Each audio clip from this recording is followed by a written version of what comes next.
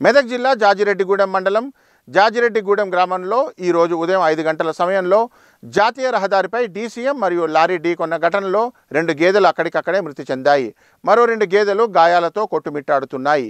ఈ గేదెలు ఆ గ్రామ నివాసి అయిన మేకల రాములుగా గుర్తించారు.